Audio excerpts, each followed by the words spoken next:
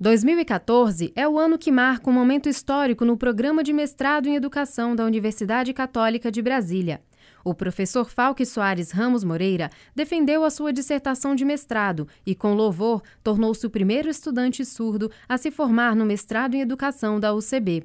A defesa ocorreu no dia 15 de agosto e foi motivo de celebração para todos que acompanharam esse trabalho.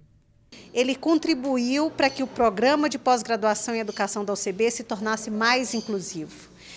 E contribui para que todos os surdos do DF e do Brasil vejam que é possível entrar na academia, permanecer na academia e fazer trabalhos de qualidade, sendo surdo ou não.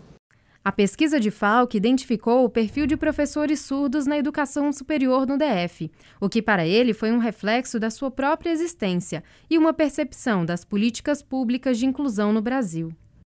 Conhecer essa área é conhecer a minha vida profunda, a minha história de vida, entender como acontece com o sujeito surdo, essa história não é só do sujeito, é a minha também, dentro da educação. Quando a gente fez o relato de vários, a gente mostra que é uma história de vida e elas coincidem.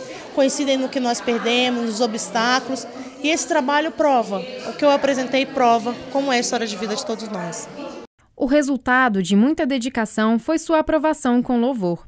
Falk foi convidado a ter sua pesquisa publicada em livro. Além disso, o novo mestre foi incentivado pela banca a dar um passo ainda maior e seguir no programa de doutorado. Eu acredito que sim, porque eu percebi que a professora e a banca me deu mais vontade diante dos comentários desse doutorado. E eu aceitei, eu aceito esse desafio. Vamos fazer e vamos lutar pelo doutorado.